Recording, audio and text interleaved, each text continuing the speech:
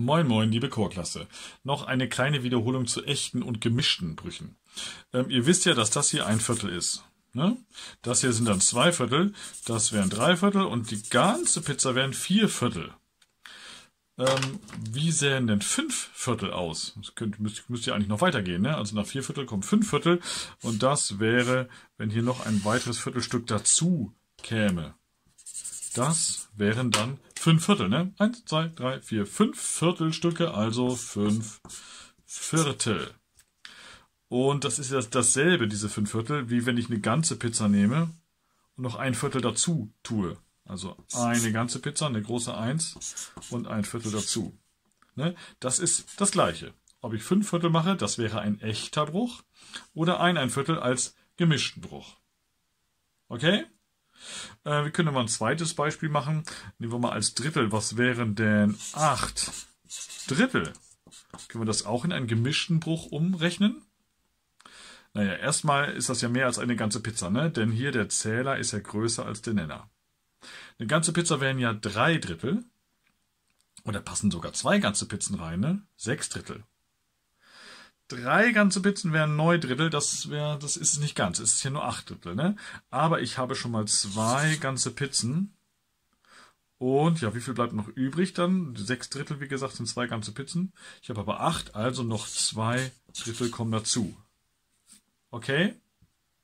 Also man schaut einfach immer hier oben in den Zähler, wie viele von meinen, ähm, ob es jetzt Drittel oder Viertel sind, aber wie viele, wie viele von meinen Stücken ähm, habe ich denn insgesamt? Um, oder wie viele ganze Pizzen habe ich insgesamt?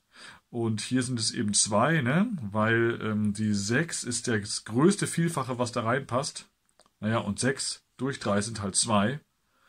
Und dann bleibt noch der Rest übrig, nämlich diese zwei Stücke, die noch übrig bleiben, bis zu acht.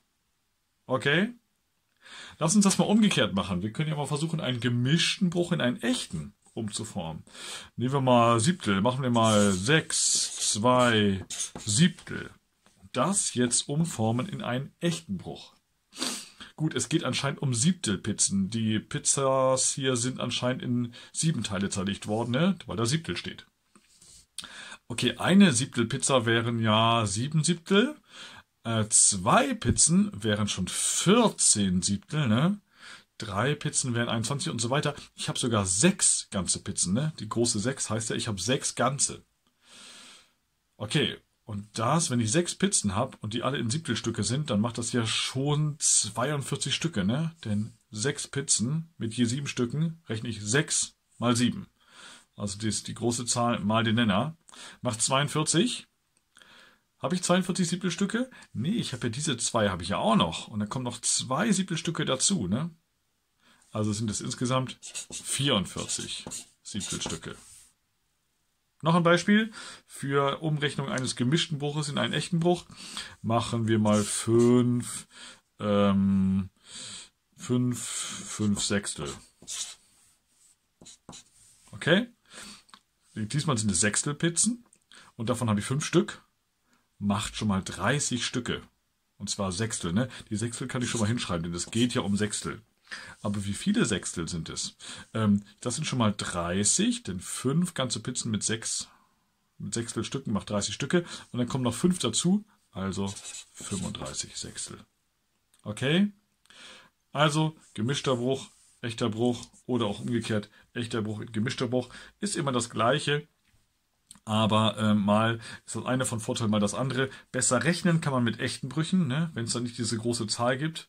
Aber was drunter vorstellen kann man sich immer besser unter gemischten, oder? Da weiß man, okay, das sind zwei Ganze und dann noch zwei Drittel. Oder hier sind es fünf Ganze und dann noch fünf Sechstel.